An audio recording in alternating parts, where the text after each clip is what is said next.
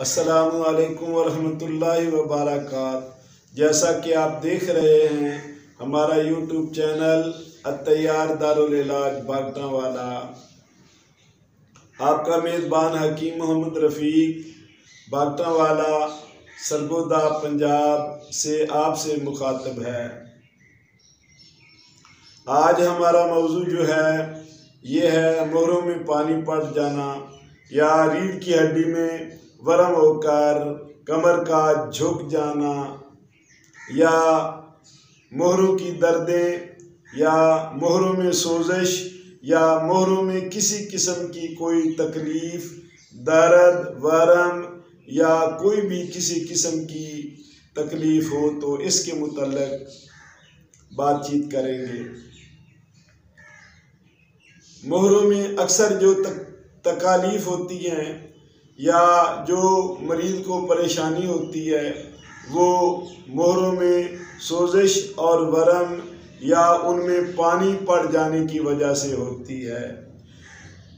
जिस तरह पेट में पानी पड़ जाता है या फेफड़ों में पानी पड़ जाता है या किसी और दिमाग की झिल्लियों में पानी पड़ जाता है, इसी तरह मोहरों की झिलियों में भी पानी पड़ जाता है।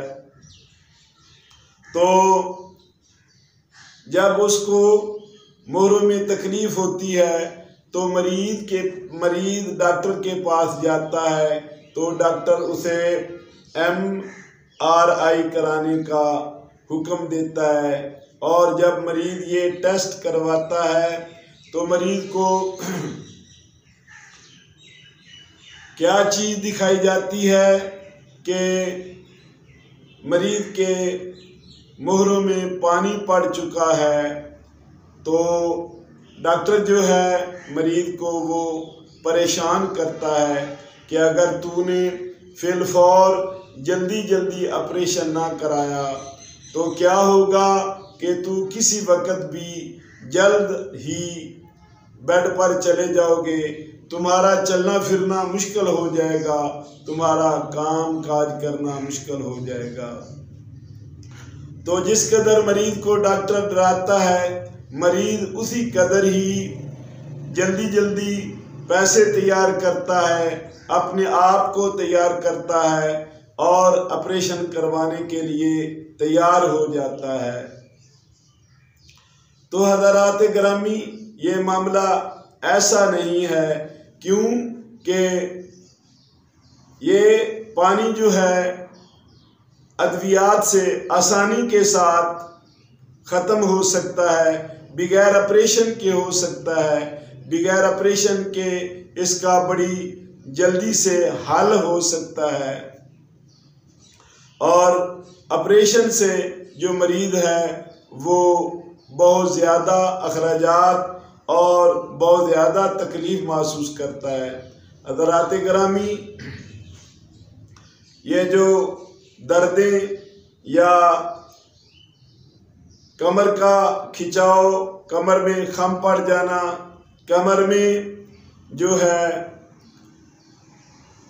कमर का झुक जाना, ये सिर्फ़ कमर के वदूद जो होते हैं उनमें पानी पड़ जाने की वजह से या खिंचाव से या अकड़ाव से या जो ये जो मामला है, असल हकीकत में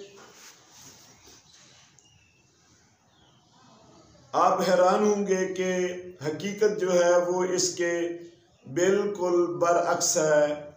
जो लोग चलते फिरते हैं काम काज करते हैं और नमाज़ वगैरह पढ़ लेते हैं, उनके उनकी कमर में दर्द या खिंचाव या पानी है तो उसका इलाज बड़ा आसान है और सस्ता भी है और मैसर भी है।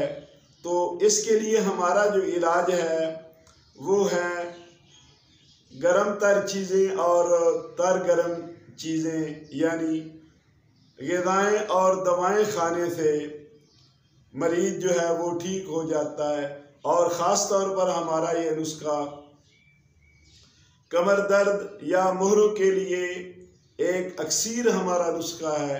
उसके इस्तेमाल करने से पानी भी खुशक हो जाता है, दर्द भी ख़त्म हो जाता है और सोजिश और वरम तक सवेलिंग और इन्फ्लेमेशन तक जो है मामला वो ठीक हो जाता है।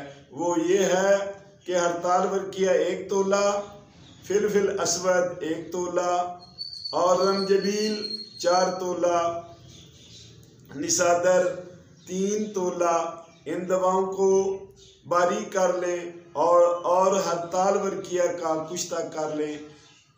फिर इनको मिक्स करके एक ता दो माशा, सुबह, दोपहर, शाम जो है, इनका हमरा कावा इस्तेमाल कराएँ। तो जल्दी ठीक हो जाएगा। इसके अलावा एक और नुस्खा इसके साथ दिया जाए तो बहुत तेज़ी के साथ ठीक हो जाएगा कि फिलफिल असवद, एक तोला, जंजबील, चार तोला निसादत ठिकरी, तीन तोला और सनामक की आठ तोला। इसको आप बारीक करके पहले नुस्खे के साथ मिलाकर इसको आप सफूफ की सूरत में एक माशा से दो माशा दें। तो कमर के जितने दर्द होते हैं, मोहरों के जितने दर्द होते हैं, कमर का झुकाव और उसमें पानी पड़ना और कमर की जितनी तकलीफ़ें हैं, ये दुरुस्त हो जाएँगी। आदमी बिल्कुल ठीक हो जाएगा, बल्कि जिसम में जहाँ कहीं भी खिंचाव, वरम, सोजिश, दर्द और जख्म होंगे ये नुस्खा इस्तेमाल करने से बिल्कुल इंसान ठीक हो जाएगा, बड़ी तेज़ी से ठीक हो जाएगा, ऑपरेशन की नौबत नहीं आएगी। कमर दर्द और मोरों के दर्द जो हैं और कमर का कोई भी मसला हो तो ये अल्हम्दुलिल्लाह आसानी से, बड़ी तेज़ी से ठीक हो जाएगा। वमा